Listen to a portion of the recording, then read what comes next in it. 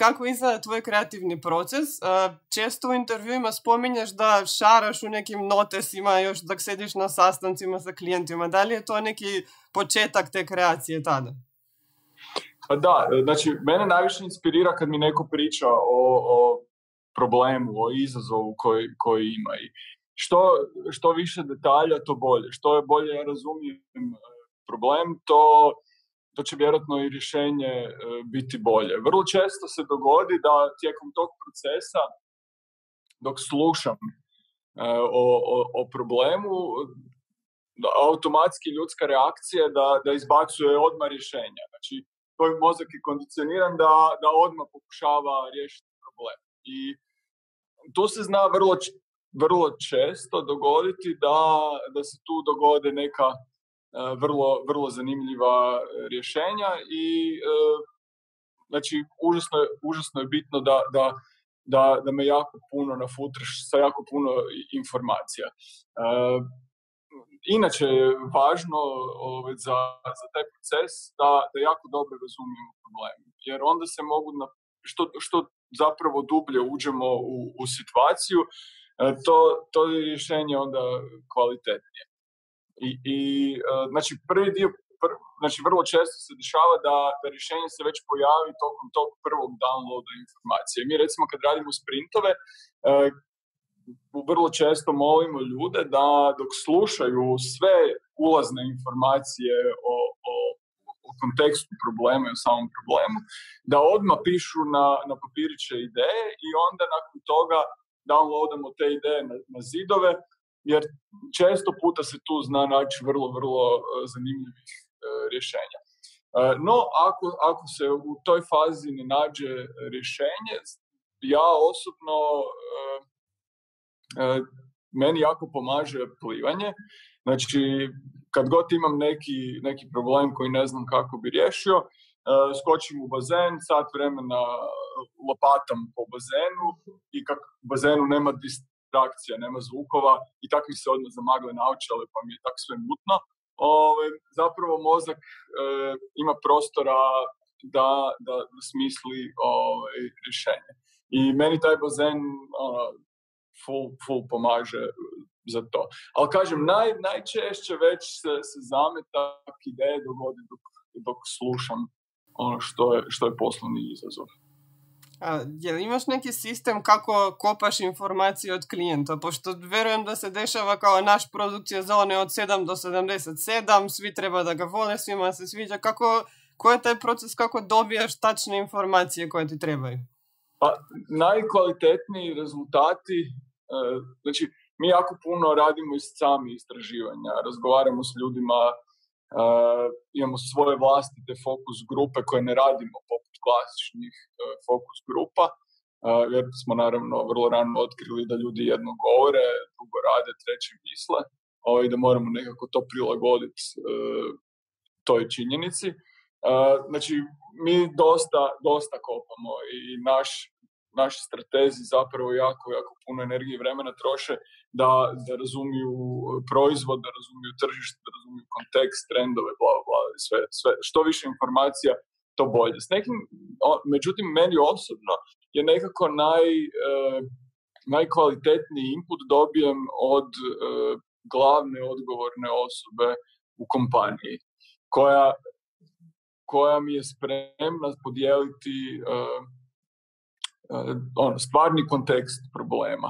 Zato što vrlo često, posebno na tenderima, zato mislim da su tenderi dosta nekvalitetni, kompanija nije spremna otkriti baš sve informacije što, što ih zapravo muči, zato što je to nekakav, taj brief je nekakav javni komad, mislim javni, potpišu ti NDA, ali taj to je nekakav ono, papir koji odlazi izvan kompanije i vrlo malo kompanije na svijetu je spremno disklozati uh, ono, do, do kraja sve šta, sve šta ih muči vezano u, u situaciju na tržištu. A kad imaš neki odnos sa, čo, sa, sa osobom koja vodi kompaniju, onda zapravo saznaš što je stvarno na stvari, a onda je kvaliteta tog prijedloga daleko bolja nego kad zapravo tapkaš u, u mraku. E, odnosno, prijedlog može, može biti daleko, e, daleko kvalitetniji zato što kad jako dobro razumiješ e, poslovni problem, onda rješenje nije nužno e,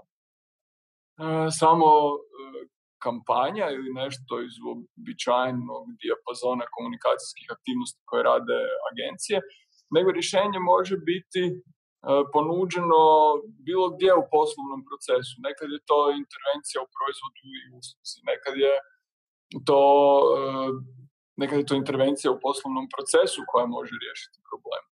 I meni su na faksu rekli da zapravo e, jedini način da u našem poslu budeš uspješan je da sa, sa predsjednicom ili predsjednikom uprave e, sjediš povremeno u džakuziju i onda za, saznaš šta ih stvarno muči. Ove, i, I onda zapravo možeš i ponuditi e, najkvalitetnije rješenje. Mi, mi već dosta dugo ne radimo samo klasične agencijske poslove, nego ono, kreiramo nove, e, nove proizvode i usluge, e, proizvode koji nisu generički, nego zapravo imaju u sebi ugrađeno komunikacijsko rješenje, to jest proizvodi koji su dovoljno zanimljivi da, da ljudi pričaju o njima, što da kako štedi na onim klasičnim e, komunikacijskim alatima poput ono, tradicionalnih kampanja. Ok, uh, ovo je sad malo na ličnu stranu. No, kad, je, kad si zadnji put nešto jako pogrešio u poslu i kako si se spravio s tim? Pa, mislim, moj život je ono, jedna bogata zbirka uh, poslovnih pogrešaka uh, koje se dešavaju redovito. Uh, dobrim dijelom i zato što često puta pokušavamo napraviti nešto što ono, do sad nije, nije rađeno ili nije rađeno na taj način i da bi bili efikasniji, a nekad je naprosto, naprosto okruženje nije takvo da, da podržava ta, takav pristup i onda često puta uh, uopće ne dođeš u priliku ono, realizirati uh, takav pokušaj. Tako da, ono, ne, nekad, to nekad naprosto krivo procijenim da li je pravi trenutak da, da pokušamo naći neko, uh, neko novo ne, rješenje koje će ono, biti izvan uobičajenog dijapazona ili naprosto moram napraviti to što mi se reklo da napravim. Ove, ovaj, ali mislim to je sve škola i, i mislim da sam u ovih 25 godina dosta diplomirao raznih predmeta. Tako da, uh, ono, naprosto, ja mislim da kad, kad, ne bi, kad ne bi griješili, da bi to značilo da zapravo ponavljamo ovaj, da ponavljamo stare recepture koje, uh, ali to, to sigurno nije nešto zbog čega ljudi dolaze na kraju dana kod nas. A kako se spravljaš sa samokritikom? Uh, pa kako kad? Uh, ja mislim da, da postoji načina da, da, da mislim, prvo, prvo treba sebi oprostiti greške. To, to je isto jedna dosta važna škola i ne, ne kažnjavati se prestrogo, nego naprosto pokušati naučiti nešto iz tih pogrešaka i krenuti dalje. I mislim da, da nekad, nekad sam sigurno bio ovaj, prestrog prema sebi i puno sam vremena trošio na, na razmišljanje pa kako si to mogao napraviti, pa zašto si to napravio. danas zapravo pokušavam razumjeti šta se dogodilo i pokušavam to nekako primijeniti u budućnosti, ne bi se to izbjeglo u budućnosti.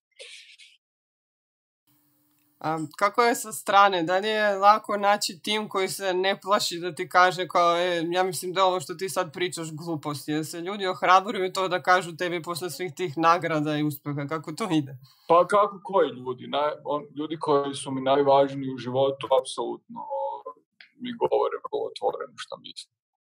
Ali, znaš, postoje ljudi koji su ti važni u životu, s kojima imaš dobar odnos, znaju i kako reći stvari na, na kvalitetan način, na konstruktivan način, na način koji ono, upiraju prstom u ono što je, što je, što je bilo stvarno dobro, a ne, ne maltretirate s onim što je stvarno bilo neadekvatno. I ja se tako pokušavam, ali nekad s manjim, nekad s većim uspjehom zapravo ne kritizirati, nego ono, izdvojiti ono što je stvarno bilo, bilo najbolje u bilo čemu. A nekako, mislim, čini mi se da je to, da je to onak neki konstruktivan način i neki način s puno ljubavi mm kojim možeš pristupati ljudima. Nekad, nekad mi to ne uspije, nažalost, i uvijek mi žao kad mi to ne uspije. A, kako se sam boriš sa uspesima? Mislim, verujem da je super i fantastično kad osvojiš sve te nagrade i postigneš neke ciljeve koje si verovatno godinama imao, ali šta posle? Kako se motivišeš da radiš još više kad ostvariš nešto što si sanjao godinama pre? Pa ja, ono, ja mislim da su nagrade važne, da sigurno su nama pomogle da, da poboljšamo svoj profesionalni status, međutim, s nagradama je problem da da vrlo, to je vrlo kvarljiva roba. Ne? Prvo nagradu dobiješ možda i godinu dana nakon što si neki projekt završio, u vremenu se već sto stvari dogodilo. Uh, ono, svijet oko nas se promijenio tri puta i sve to skupa je neka stara priča. Uh, drugo, ono, način na koji si rješavao stvari jučer, danas je možda potpuno ne, ne, a, ne aplikabilan. Tako da s nagradama, nagrade su važne, ali treba, treba ih uh, treba ih proslaviti svaki put kad ih se dobije i onda spremiti uh, u ormari, zaključiti ormar i, i ne baviti se više s njima. Jer, mislim, od uvijek je ta uzrečica u našem poslu da si dobar koliko je dobar tvoj zadnji projekt, a neka je bilo prošle godine. Ne? Tako da, e, kvarljiva roba. I često puta, i, i često puta može uništiti ljudima karijeru, posebno ako dobiju neku veliku nagradu i ako se ne znaju poslije nositi sa, tim. Uh-huh. A, kako se spravljaš s onima koji kopiraju tvoj posao i hvale se da je to njihovo? Ima takvih? Pa gledaj, to je vrlo skliski teren. E, užasno je jednostavno nekog optužiti e, za plagijat, e, ali ono što je činjenica da naš posao, da mi, na, na, mi se bavimo komunikacijom, znači moramo koristiti nešto što je ljudima prepoznatljivo u novim kombinacijama i e, ljudi vide da je nešto djelomično e, poznato, ne, i onda užasno lako kažu, pa to je ista stvar, to, to je neko nekom ukroja. Ja mislim da, da, da ono što mene najviše veseli je kad uzme netko nešto što smo mi radili i na to nadogradi neku, nešto svoje. Jel, ja mislim da je to zapravo uh, kreativni proces to znači da si nešto dobro napravio uh, kad je nekog to motiviralo da na, na tome se gradi uh, da se gradi nešto svoje. I meni, meni je stvarno jedno blagodat da, da radim u relativno velikoj, velikom sustavu, u, u relativno za naše okvire velikoj agenciji, zato što ono što, na čemu mi insistiramo to je da ljudi uh, nadograđuju tuđe ideje ne? i onda puno zanimljivije stvari nastaju. Ne? Meni, meni tvoja ideja inspirira na nešto, ja na to nadogradim uh, nešto svoje, pa možda ti tako, tako, tako vratim ovaj, preko stola, pa tebe to motivira da još nešto drugo na to nadogradiš. Tako da mi, mi smo puno truda uložili u to da nema moja ideja, moja ideja. A, šta je za tebe dobra ideja? Hm. Kaj je za mene dobra ideja? Za mene je dobra ideja kad, e, kad rješava nekom neku situaciju. Uh, vrlo često u našim poslima dosta ideja koje su intelektualno jako zanimljive, Ove, ali zapravo su nepotrebne ili, ili naprosto ne, ne, fun, ne funkcioniraju, on, nikom ne rješavaju nikakav problem. I uh, ono, ta, ta, ta neka to neko intelektualno izdrkavanje je, je naravno zanimljivo, ali uh, za mene to nije dobra ideja. Za mene je dobra ideja koja, koja nekako kaže, oh, super, hvala ti, ovo, ovo će mi stvarno riješiti taj problem. Ok, uh, neminovno je kad pričamo o kreativnosti da pričamo o inspiraciji. Kako ti nalaziš inspiraciju svih ovih godina? Da li imaš neke resurse ili nešto što bi mogao da preporučiš onim mladim kreativcima koji tek počinju? Uh, ja imam neki otpor prema, uh, prema školi i onda zapravo uh, zapravo ono ja ne gutam baš puno ni literature, ni puno baš hodam po, po sajtovima koji ono, odem jednom godišnje u kantam, pogledam sve ono, vladne nagrađene radove i, i to mi je stvarno dosta i previše. Ove, ovaj, I pogledam eventualno šta je pobjedilo na D&A-u i, uh, i, ili na Directors klubu u New Yorku. Ove, ovaj, ali uh, ono što mene inspirira ja sam zapravo uh, latentni PR-ovac. Ono što mene fakat inspirira je kad, osje, kad namirišim da bi nešto moglo biti popularno. I da bi, ljud, da bi veliki broj ljudi mogao reagirati uh, na to. I mene, to, mene, mene inspirira publika koja je u određenom trenutku spremna za, za, za neki događaj, za neku vrstu poruke za neku vrstu podražaja i onda mene full inspirira da mi kreiramo te podržaje. I užasno volim projekte koji su ono, bilo kakvi na svijetu, koji su ono full i koji su imali zapravo puno veću puno veći efekt da su ljudi pričali o njima nego što su zapravo bili distribuirani kroz plaćene medije, jer ono, ja fakat vjerujem da 2020. najbolje oglašavanje uopće ne izgleda ko oglašavanje i najbolje oglašavanje je ono koje, o kojem ljudi eh, o kojem ljudi pričaju jer eh, mislim naravno da, da to iz masu u, u, u, nije uvijek moguće i, i iz raznih, raznih razloga se ne ulazimo u to, ali mene, mene inspiriraju e, ljudi koji su spremni na, na određenu vrstu podržaja i, i da mi taj podržaj stavimo u pravom trenutku na pravo mjesto, na pravoj osobi, to mi je full napeto. I onda kad vidim da, kad vidim da, da, da, da internet poludi, onda mi je to to mi je zapravo najbolja stvar. Ima još jedan plus efekt od ovoga što pričaš. Ja sam negde 2011. još mislim da sam na fakultetu bila i pravila neki blog za kreativne ideje. I onda meni je super bio onaj godišnji izveštaj Adrisa što je bio Good Ideas Glow in the Dark. Ja sam tad napisala neki Facebook post sitan i meni je to bilo super ideja sve. Onda je neko to kod vas video i podelio kod vas na Facebook, meni je to bilo doživljaj života, ono, kao, svima sam se hvalila, screenshot i sve, tako da nekako još na another level tih kampanja, gdje ljudi vide, sami pričaju, pa posle vi date njima još neki ekstra effort, pa meni je to baš pomoglo i dalo motivaciju još dalje da pišem i da razvijam taj blog.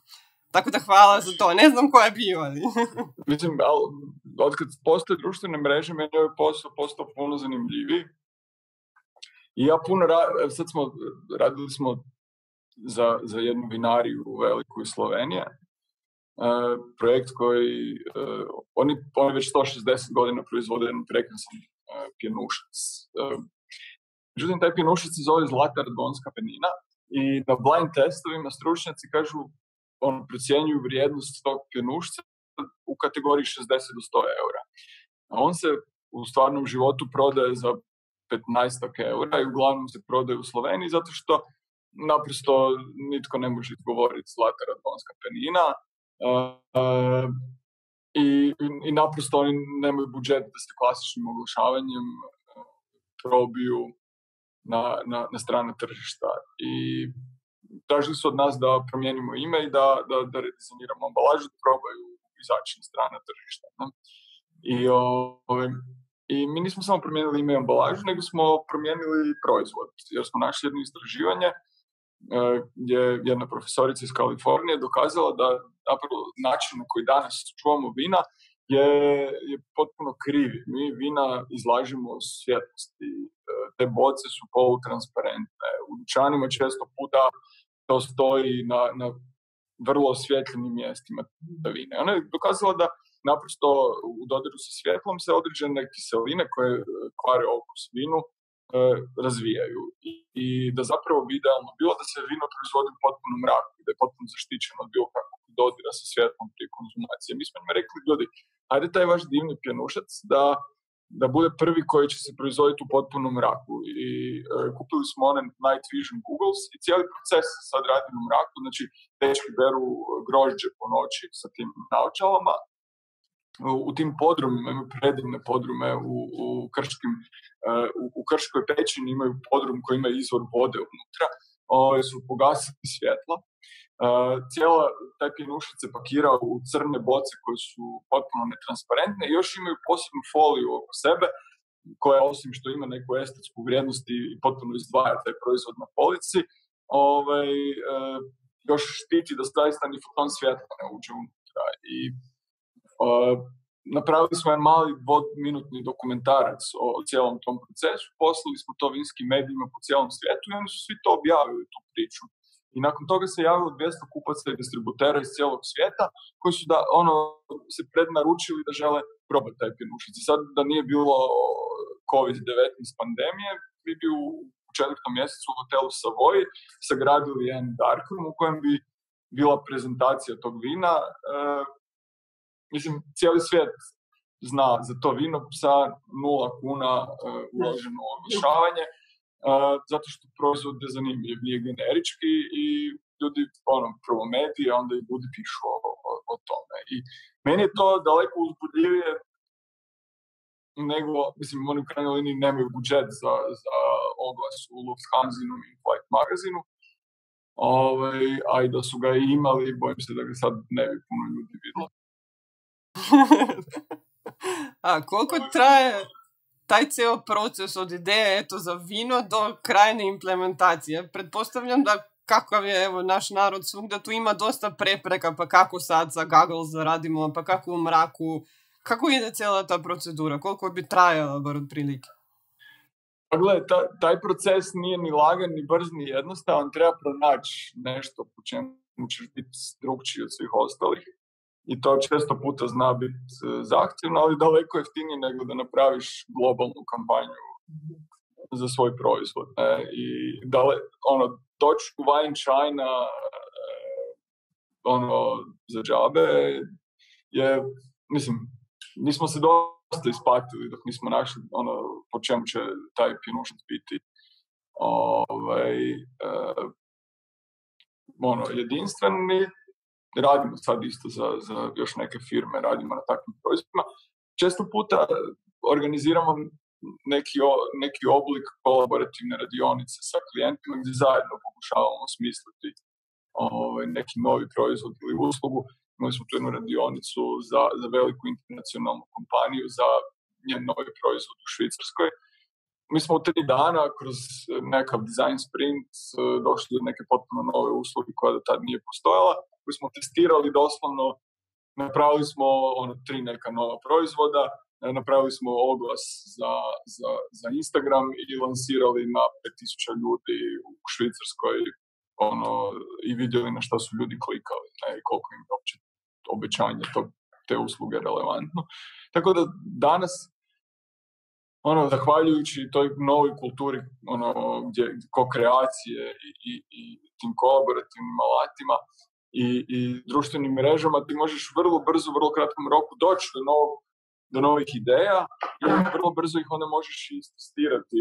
Znači u, u starom svijetu bi mi angažirali veliku istraživačku agenciju koja bi onda nakon šest mjeseci i miliona novaca nam došla reći šta, šta su ljudi rekli da im je od tih e, ponuđenih usluga relevantno, a mene iskreno dosta sve slabije zanima šta su ljudi rekli, jer ljudi svašta pričaju. Mene zanima na kaj si ti klikao na internetu i ako, ako sam ti nešto obećao u tom malom oglasu na Instagramu, uh, što, što je tebe nagnalo da klikneš na njega, meni je to daleko iskrenija reakcija nego, nego kad mi na fokus grupi trtljaš šta, šta misliš da bi bilo, gdje, gdje ono, glumiš neka i, i pričaš šta misliš da bi bilo društveno prihvatljivo da kažeš. A, da li ovo znači da proces kreiranja ideja sad u Hrvatskoj gdje već znate tržište godinama radite svugdje po Europi, po svijetu mnogo bliži nego što je bio pre, pošto ne moraš da angažiraš ogromne agencije, ne, ne treba to da traje sto godina ili ipak ima još uvijek razlika?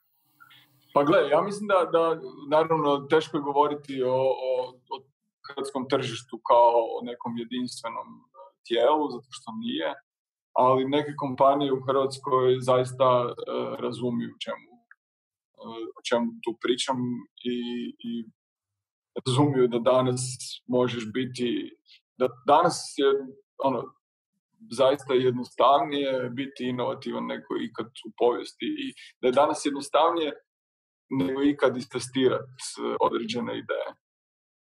Uh, ko je najbolji savjet o kreativnosti koji si dobio? Van škole, van svega toga, nego od nekog od iskustva iz rada? Pa kreativnost uh, se vježba više nego što se uči. Formula kreativnosti je vrlo jednostavna, spajaš stvari koje nisu bile uh, prije spojene. Uh, I sad treba ti neko vrijeme da ih spojiš u nešto novo što ima smisla. Jel? Užasno jednostavno spojiti nešto što nije bilo prije spojeno, samo malo izazov kako doći do nečeg što je smisleno. I to je naprosto stvar vježbe. Mi, mi smo svi ljudi kreativni. To nam je jedan od osnovnih alata za preživljavanje na planeti. O, samo što od, od industrijske revolucije školski sistem zapravo je napravljen da, da ne potiče kreativnost zato što ipak većina ljudi uh, radi repetitivne poslove ili relativno ove, repetitivne, gdje moraju zapravo spregnuti svoju kreativnost. Naš, naš, naš običajni ovaj, uh, ono, o, školski sistem te priprema znaš, on, maltene na, na, na radnika na traci koji mora ono, jednu te istu radnju stalno ponavljati tekst. I ako, ako nemaš zatomljenu kreativnost, e, nećeš biti dobar u, u, u repetitivnoj radnji. Ne? I e, zapravo mi, mi u nekom trenu uslijed nekih okolnosti, neki od ljudi zapravo ne ono, uspiju tu svoju kreativnost, urođenu kreativnost sačuvati i, i razviti je. I to je mi to zovemo kreativni mišić, naprosto to se vježba. To se vježba praksom, kao što se ono, mišići na nogama vježbaju trčanjem. I e, praksa, ja mislim da je tako da svako treba pronaći e, nešto što e, ne, nešto što ovaj, e, radi za njega. Nema, jed, nema jednog recepta koji radi jednako za sve. Kreativnost svi imamo, a svako treba zapravo pronaći način kako, kako ju pobuditi. I ja mislim da zapravo ako, ako je školski sistem uspješno ukokao kreativnosti ne, i zapravo nemaš ni potrebu da budeš kreativan, nije to ništa loše. Postoje na svijetu stotine poslova koji zapravo zapravo ne žele da si, da si kreativan. Međutim, Isto tako je činjenica da, da u, u, u jezgri svakog biznisa jest kreativnost. I možda, možda stotine ljudi ili tisuće ljudi u, u tom sustavu ne trebaju biti kreativni, ali u, u samoj jezgri je, je sigurno bila neka dobra, relevantna, kreativna ideja i koju je netko trebao smisliti i, i netko ju poslije trebao svojom dosljednošću i, trudom i upornošću uh, i realizirati. Najbolji savjet je bio, uh, mi smo nekako imali sreće da smo fakat radili sa jako puno zanimljivih ljudi u ovih 25 godina ili, ili kao kolege unutar agencije ili smo radili za te ljude ili smo na neki način s njima surađivali i fakat uh, mislim da smo dobili najbolje poslovno školovanje koje, koje se može dobiti u, u ovom dijelu svijeta, baš kroz e, suradnju sa tim ljudima i međutim nekako ipak najbolji savjet koji sam možda dobio od svog tate je da koji je rekao svi ćete tapšat e, kak si genijalan i kak si super. Međutim onima, onim, onima kojima zaista vrijediš e, će ti tvoj rad i, i adekvatno platiti. Ok, to je to što imam ja da te pitam. Hvala ti puno što si našao vremena, stvarno mi puno znači, nadam se da će ljudi puno naučiti. Uh, pratimo sve što radite, uživam stvarno u svim kampanjama, nadam se da će ti tako produžiti i dalje. Hvala tebi, hvala. Ćao.